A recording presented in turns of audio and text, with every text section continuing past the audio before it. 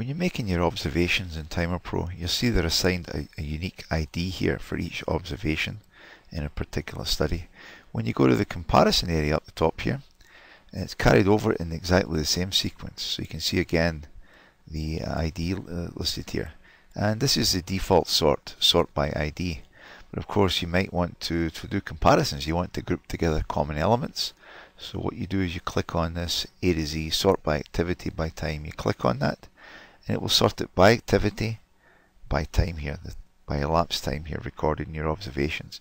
So for instance, if we scroll down to the buff bottom here, you can see we've got a buff bottom here taking 4 seconds. We can play that in the left. This might be an experienced operator, and down here you could have a new operator, and you can play that in the right. So you can line up your videos for comparison purposes by using the sort by activity by time.